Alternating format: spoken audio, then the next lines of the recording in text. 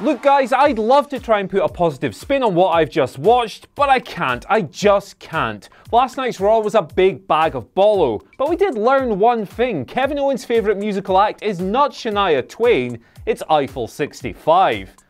Because blue. Get it? Blue, blue like the port. Oh god. Just roll the titles.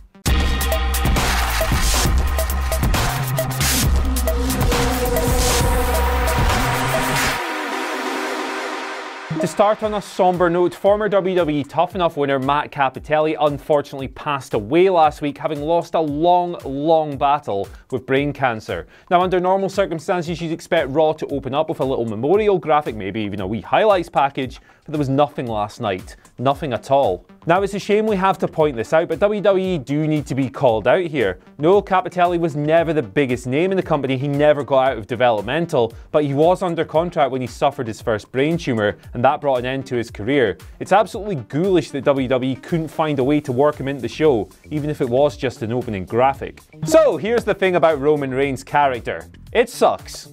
This guy's basically Gene Snitsky at the moment because all he does whenever something goes wrong is blurt out it wasn't my fault and run away from his problems. When he lost to Brock Lesnar at WrestleMania, Lesnar blamed management. When he lost to Brock again at the Greatest Royal Rumble, he semi-understandably blamed the referee. Last week, when him and Bobby Lashley were facing the revival, it was somehow Lashley's fault. And last night, when Bobo deservedly walked out on the big goof after being treated like dirt the whole night, Reigns treated it like it was some kind of top 10 anime betrayal. It's bad, really bad. But at least he isn't punting babies out of the ring.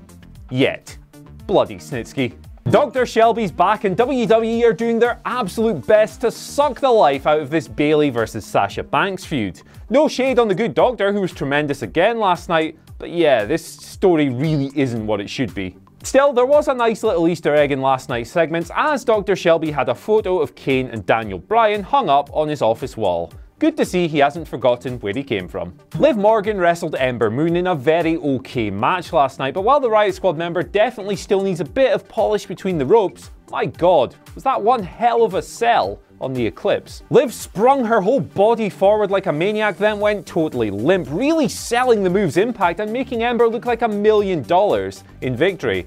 Little touches like that go a long, long way, so fair play to her. Aside from that dope with the giant MAGA banner in the front row that was duly confiscated halfway through, it was a relatively dull night as far as fan signs go, but this Vader one did keep cropping up throughout. Now this wouldn't normally be particularly notable, but given that it came just a few days after it was leaked that Vince McMahon had banned announcers from even mentioning Vader on air, it's kinda cool. It's a really weird stance because while Vader isn't necessarily a WWE legend, he is without question a wrestling legend, and he deserves acknowledgement. Good on that fan, but bad on Vince. At one point last night, Michael Cole blurted out that while Ronda Rousey is currently suspended from Raw, that doesn't apply to pay-per-views. Now this was just an extension of an interview that Rousey did and was uploaded to YouTube last week, but bloody hell, it doesn't half telegraph her next move. You might as well just come out and broadcast the script for the Raw Women's title match in advance, you bunch of dumbasses.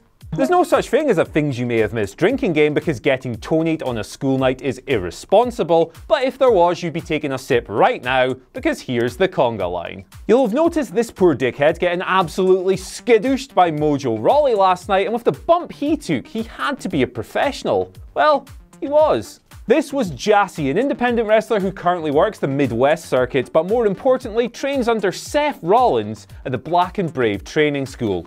Cool. Speaking of Mojo Rawley, I know it's cool to rip this guy to pieces, and I myself have certainly been guilty of that from time to time, but the guy's really been doing some quite good work lately, and it's really flying under everyone's radars. Ultimately, he needs to be feuding with someone a little bit better than No Way Jose, but Mojo cut a decent promo last night. The beatdown was really well executed, and his offense actually looks like it hurts. It'll take a long, long time to shake off what remains of that hype bro stink, but he's putting in good work at the moment, and that deserves a thumbs up. You go, Mojo!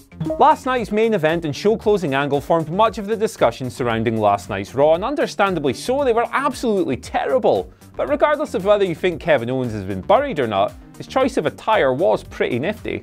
Kevin Owens came out wearing his Fight Anyone t-shirt, then proceeded to run away from Braun Strowman, hide himself in a toilet, and get covered in blue gloop. It was a pretty dismal scene, but for his character, that's actually perfect. Now, I miss the prize fighter of old too, but that's not who he is anymore. He's a coward, he's a chicken heel, he runs away from things. So the irony of him wearing this t-shirt and then running away is absolutely delicious. Well, maybe delicious isn't the right word for a guy who just got chucked around a Portaloo, but you get what I mean. And finally, Braun Strowman. One week after trashing Kevin Owens' car, the big lad was back to bullying his victim again, trapping him in that Portaloo, dragging him onto the stage, and then skadooshing him off of it. Now, aside from the needless damage to Richard Picture's favourite hangout spot, it left KO absolutely humiliated and it closed the show on a scene almost as dismal as that Bobby Lashley sister segment. Isn't this all just a little bit unnecessary? Do we really need to have Braun presented as this domineering bully? I like the guy and I really want to root for him, but it's hard when he's presented like this. Now, this is an age-old problem with WWE babyfaces, but I swear to God, if WWE somehow contrived to ruin Braun Strowman, I'll probably complain about it on a YouTube video. That'll show them. So that's it, our journey through this particularly dopey episode of Raw is over and done with. Head on down to the comment section, let us know what you thought of the show, and any Easter eggs or hidden gems that you picked up on as well. And once you've done that, head over to whatculture.com forward slash WWE and check out some great articles, including the one that this very video series is based on. Once you've done that, don't forget to like, share, and subscribe, and maybe check out some of the videos currently swirling around my big bald head. As always, Phil, I've been Andy, and I'll see you later.